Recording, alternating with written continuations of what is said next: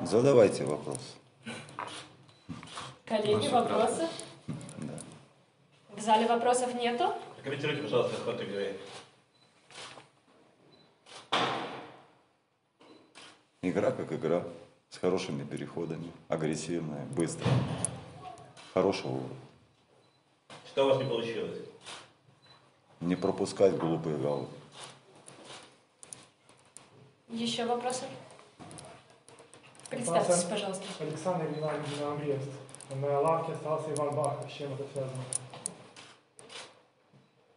Накануне было травма. Вопросы?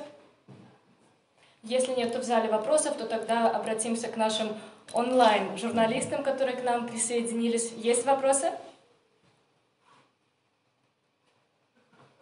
По-моему, звука нет. Адриан.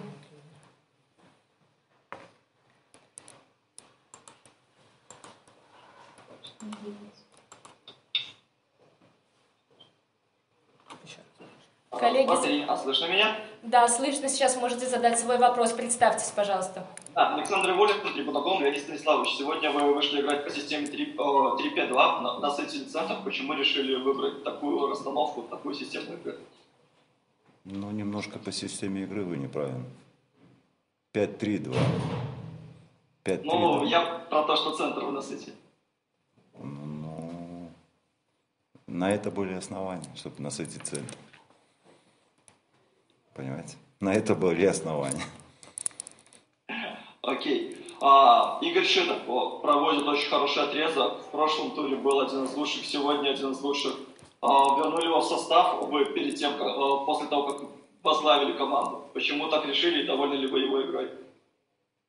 Ну, в принципе, я бы не хотел выделять, что Игорь Шитов или еще кто-то. Но, в принципе, команда очень стала очень мобильной. Немножко там не хватает, конечно, скоростных э, действий, на, скажем, игроков. Но команда стала очень мобильной и, э, значит, стала мощнее.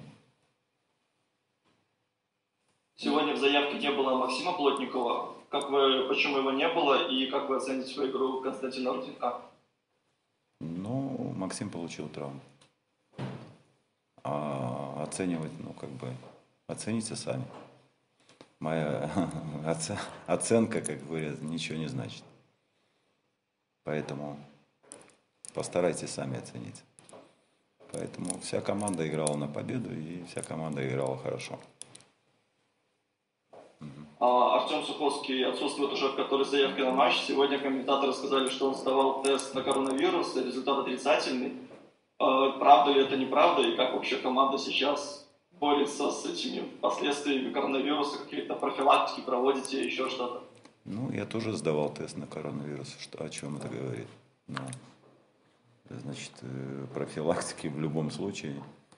Тест ничего не подтвердил, да. Но человек, когда после болезни, ну, давайте так, чтобы э, набрать форму после болезни, нужно определенный промежуток времени.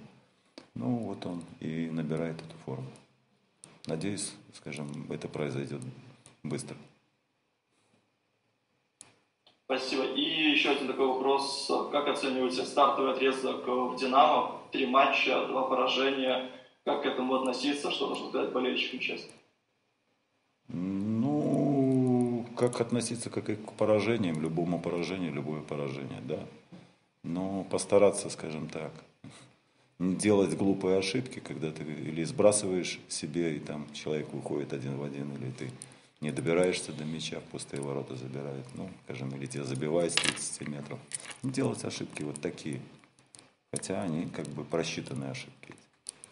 Не- Поэтому не делать своих каких-то таких глупых ошибок. Почему? Потому что ну, команда играет агрессивно, команда играет быстро.